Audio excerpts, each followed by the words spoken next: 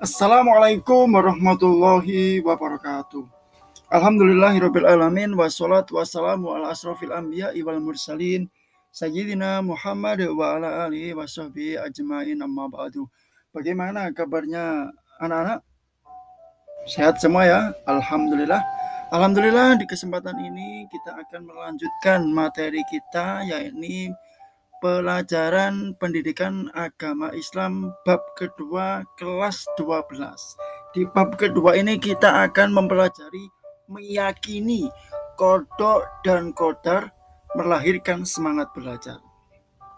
Oke, apa sih yang disebut dengan kodok dan kodar itu? Pengertian kodok dan kodar. Ketetapan Allah Subhanahu wa Ta'ala di zaman azali itu adalah kodok. Oke, saya ulangi lagi ya. Ketetapan Allah Subhanahu wa taala di zaman azali disebut kodok. Kenyataan bahwa saat terjadinya sesuatu yang menimpa makhluk Allah Subhanahu wa taala disebut dengan kodar. Saya ulangi lagi, ketetapan Allah di zaman azali adalah kodok. Dan kodar adalah kenyataan bahwa saat terjadi sesuatu yang menimpa makhluk Allah Subhanahu wa taala. Oke ya, jadi ada perbedaan antara kodok dan kodar ini. Oke. Next. Antara kodok dan kodar saling berkaitan.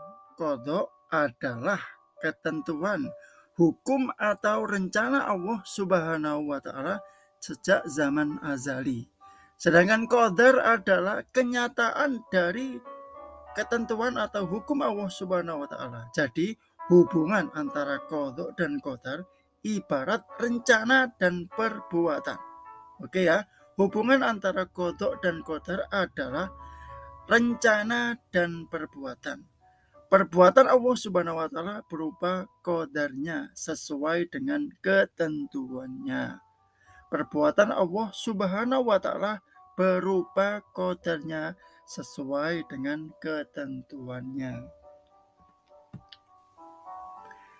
Iman kepada kodok dan kodar artinya percaya dan yakin dengan sepenuh hati bahwa Allah Subhanahu wa Ta'ala telah menentukan tentang segala sesuatu bagi makhluknya.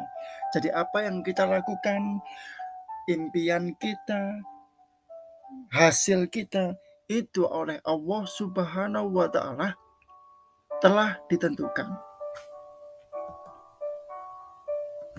Kemudian beriman kepada kodok dan kodan merupakan salah satu rukun iman. Masih ingat ya dengan rukun iman ya? Ada berapa? Oke, yap, masih ingat kalau begitu. Seorang muslim tidak sempurna dan tidak sah imannya kecuali beriman kepada kodok dan kodar Allah Subhanahu wa Ta'ala. Takdir Allah Subhanahu wa taala merupakan irodah atau kehendak Allah Subhanahu wa taala. Saya ulangi lagi ya. Takdir Allah Subhanahu wa taala merupakan irodah atau kehendak Allah Subhanahu wa taala. Oleh sebab itu, takdir tidak selalu sesuai dengan keinginan kita. Saya ulangi lagi ya. Takdir tidak sesuai dengan keinginan kita tidak selalu sesuai dengan keinginan kita. Orang yang beriman dengan sebenar-benarnya terhadap kodok dan kodar akan senantiasa menjauhkan diri dari sifat sombong dan putus asa.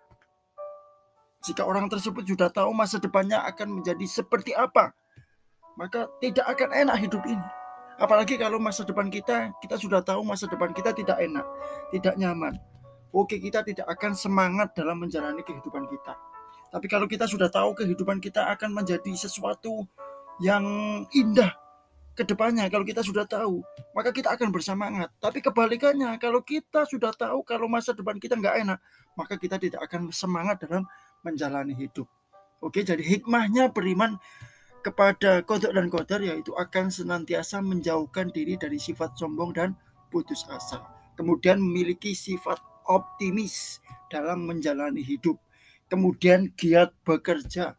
Kemudian yang terakhir adalah selalu tenang jiwanya. Oke ya, jadi kita tanamkan dalam diri kita, kita harus beriman kepada kodok dan kodar agar kita senantiasa memiliki sifat optimis, giat bekerja, selalu tenang dalam kehidupan kita.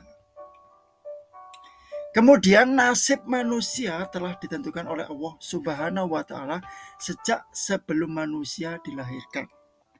Walaupun setiap manusia telah ditentukan nasibnya, tidak berarti bahwa manusia hanya tinggal diam menunggu nasib tanpa berusaha atau ikhtiar.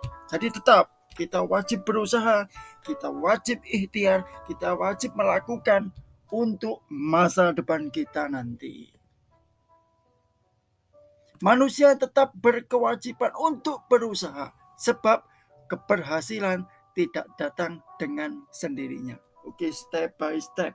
Kita wajib, kita harus, kita harus memiliki mimpi untuk bisa menjadi seorang yang berguna bagi kehidupan kita. Oke, jangan pesimis. Kita wajib optimis. Kalau dalam bahasa Arabnya adalah latakun ananian walatakun mutasaiman alaikum bil hamasa. Kita wajib semangat, kita wajib optimis, kita tidak boleh pesimis dalam menghadapi kehidupan ini. Oke, itulah yang bisa saya sampaikan di pelajaran pendidikan agama Islam bab kedua tentang meyakini kodok dan kodar.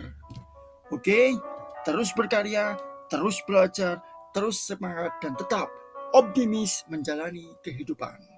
Dan jangan lupa komen, like, share, and subscribe video ini. Dan untuk teman-teman jangan lupa ya tugasnya nanti saya tulis di kolom deskripsi dan sampean-sampean harus menjawab di kolom komentar. Jangan lupa nama lengkap dan kelasnya. Terima kasih atas atensinya.